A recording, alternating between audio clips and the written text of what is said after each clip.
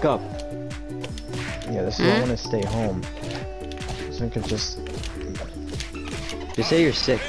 Next time, the results are in,